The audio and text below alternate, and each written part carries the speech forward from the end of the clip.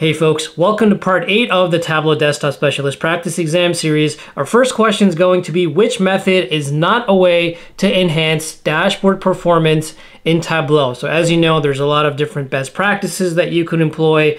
Which of the ones listed here are not one of those ways? Would you use higher level of detail, reduce the use of filters, increase the use of complex calculations, or would you simplify the visualization? So which one of these would not enhance dashboard performance? In other words, which of these would probably make the dashboard slower instead of faster. And there's a number of different resources you can use. Uh, for instance, we can use the Tableau documentation, which I have over here, uh, open over here. It talks about optimizing workbook performance. It's a really good article. I'll leave it down below. And there's a number of different tips that you could follow to make your dashboard run faster. In addition, one thing I do want to point out, if you go into Tableau, um, you can actually, if you go over server, you can run the optimizer, which in real time, it's going to tell you all the different best practices that your workbook does or does not employ. So for example, over here, it tells me that I have a bunch of unused fields. And if that's the case, typically you should be hiding those fields so the workbook doesn't bring them in.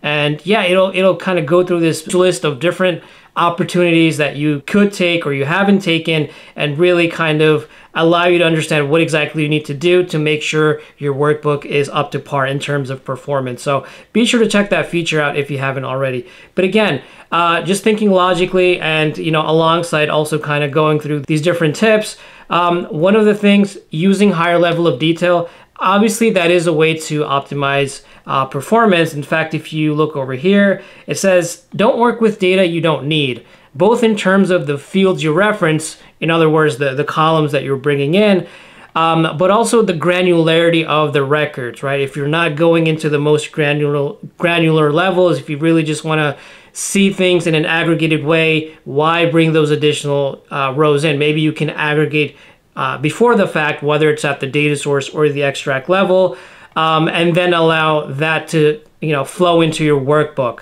Um, so using higher level of detail is actually going to make your dashboard faster. So that's not going to be the correct solution. How about reducing the use of filters? That's a tricky one. Typically, we're told to use filters to help restrict the amount of data that's coming in as it relates to rows. Maybe you have a particular criteria.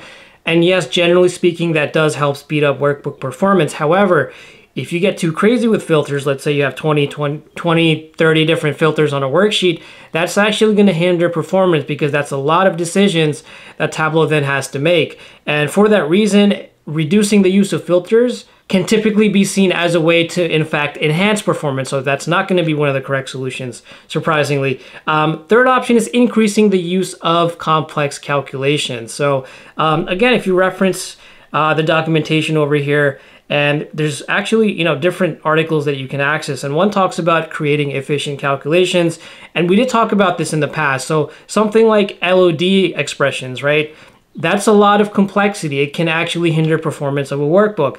If you have like a crazy uh, nested if statement, that can hinder performance and that's why you might want to instead use something like a case statement. So the gist of it is if you are increasing the use of complex calculations, that is going to hinder your Tableau performance. It's not going to allow it to be optimized. So that's probably uh, the correct solution here. Last option is simplifying visualizations. Obviously, if you have you know a reduced number of marks, limited number of marks, or simple visualization, that's certainly one way to enhance dashboard for performance as well. So that's not going to be the correct solution. The only correct solution here will be the third option because increasing the use of complex calculations is certainly not a way to enhance performance in Tableau. By the way, if you do enjoy videos like this, consider liking the video and subscribing for more content just like this. Next question. True or false, Tableau's data interpreter can clean and reshape messy data which is sourced from SQL databases. Now we did in a prior video talk about how, you know, when you're talking about cleaning or prepping data, you typically can really only use what's known as Tableau Prep Builder. But there's also a feature in Tableau that you can actually access um, from the data source tab. It's really just a checkbox, right, on the, on the left that you'll see here um, as soon as it loads. Um, but checking this box, it can really help you kind of clean um, some of the data and according to the Tableau documentation, particularly for you know Excel sheets, CSV files, PDF files, or Google Sheets, okay? Tableau's data interpreter can clean and reshape messy data sourced from SQL databases. That's actually gonna be false because again, referring to the documentation here, all the way at the bottom, it'll tell you when the data interpreter is not available, right? So specifically, there are some dirt, some type of data sources that are not supported because the uh, data interpreter only works for Microsoft Excel, CSV, PDF, and Google Sheet as we just uh, discussed. What does that mean? So if you're actually connected to a SQL data source like a SQL Server database or Teradata or Oracle, what have you, it's actually not going to work. It's not going to be an option. So that's why it's false. Next question. The pages shelf allows which of the following? And you can select multiple correct options here. So what is the pages shelf? And we did talk about this in a recent video. Is it a way to page through SQL records? Like maybe I have 100 records and I want to get the first 10, then the next 10, then is that what that is for? For paging through SQL records? Is it um, for a way, does it enable the ability to jump to a specific page? Does it enable the ability to manually iterate through pages? So page one, page two, page three.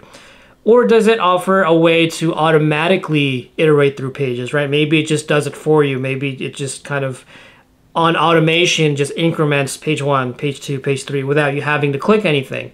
Or is it going to be the last option? Is it a way to size the dashboard dimensions based on devices? So maybe you're, you know, looking at something from a tablet and you want to be able to specify the dimensions. Is that what the pages shelf is for? So uh, again, where's the pages shelf? It's going to be right here. So when you have a when you have a sheet open on the top left, as you can see here, that's where the pages would be. And I think we covered this in a recent video, but let's just do it real quick since we're here, uh, here already. So let's say I have, uh, you know, sum of sales by category, and I want to be able to iterate through a period of time so I can actually drag my order date into pages, and maybe I want this to be month and year, right?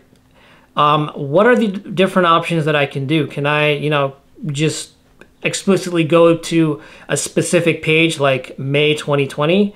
Yes, I can. And what does that do, by the way? What does that even do? Well, what it does, it, it almost acts like a filter, but um, it helps you iterate through whatever you're paging on. So all, all I'm doing here is looking at sum of sales by category, but I can look at it on a combination of month and year basis. So that's January 2019, and now that's February 2019, and now that's March, April, May. And you notice the visualization here changing as well, because that's reflecting what page you are on. Now going back to the question, does it help page through SQL records? No, we're not talking about SQL records. Does it help jump to a specific page? Can I just jump from September 2019 to September 2020? Yes, I can. Um, how about the third option? Can I iterate through the pages manually? So can I, you know, just kind of go going like this? Can I increment through like November 2022, December, January, February? Yes, it does allow me to do that. Now, what is the uh, the fourth option over here? Can I do the same thing automatically if I want to iterate through all the way from the beginning through the end automatically without clicking every single time? Can I do that? So again, Let's go back here. Let's set this to the earliest date, which is January 2019. And you'll notice we have like a, like a stop and then we have like a play button. What does that do? If I just, if I click play and I have my hands over here, so, you know, I'm not clicking, what is that doing? It's iterating through. Notice my hands are here, right? All I did was click play and now it's iterating through all of those pages. So what what does that mean? That means the um, the fourth option here is also correct. So the second, third, and fourth options so far are correct. How about the last option is the pages shelf what allows you to you know set the size of the dashboard dimensions. Um, no, if you you know if you right click or whatever, that's not even remotely an option. In fact, if you wanted to do that, that would be when you go into dashboard in the dashboard um, pane, that's where you would set the size. So, size. So the only correct solutions here are going to be the second, third, and fourth options. Next question, which option is not a current valid um, Tableau file type? I noticed a typo there, so ignore that. Let's pretend that A isn't there. Which option is not a current valid Tableau file type? Is it going to be .twbx, .twb, .hyper, .tde or dot .tbm. This might be a little bit of a trick question because I'm sure a lot of you haven't seen uh, one or more of these specific file types, but I can assure you that one does exist and the other one probably does not. Now let's see what I mean. So let's go to the Tableau documentation because that's definitely where you're going to want to uh, help prepare for the exam. But first thing you'll see is a workbook. So what is .twb? That is a Tableau workbook file. No data attached, just your, you know, your sheets, your dashboards, your visualizations, that kind of thing. No actual data. Right? You have to be connected uh, to get that data.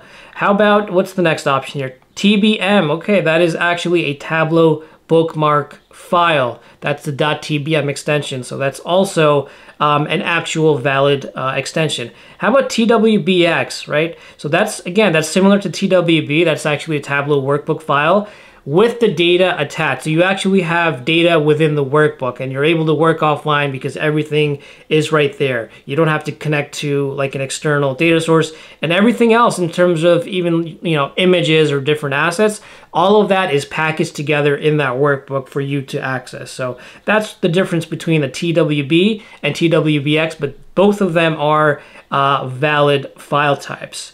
Uh, what's next here? So hyper hyper. So that the Tableau extract files have a dot .hyper extension. So that's also a valid file type. How about dot .tde? If you look over here, there's no dot .tde, and a lot of you might be confused because you might have seen it before. And the reason why is it's actually deprecated. So if that comes up on the exam, it's not actually uh, a valid file type anymore. It was dis uh, discontinued, as you could see here, in the beginning of 2023. Um, and you know the dot hyper was actually introduced in 2018 so that's the reason why. Uh, and as such the fourth option here is going to be the correct option here because that's the only one on this list that is no longer a valid uh, Tableau file type. Quick pause. If you like these videos but you're serious about acing the Tableau Desktop Specialist Practice Exam or certification, I've got news for you. Check out the link in the description if you're interested in practicing with an even more realistic set of practice exam questions. There are at least five different practice exams, 45 questions each, with the proper distribution of exam topic areas. You'll know exactly which questions you got right or wrong and what the correct solutions were. Now, there are a limited number of spots available, so be sure to take advantage of the limited time offer because as you know, practice makes perfect. And that's a wrap. Thank you guys so much for watching. Hope you enjoyed the video. Be sure to like if you haven't already and subscribe if you haven't already. And of course, as always, I will see you on the next one. Thank you for watching.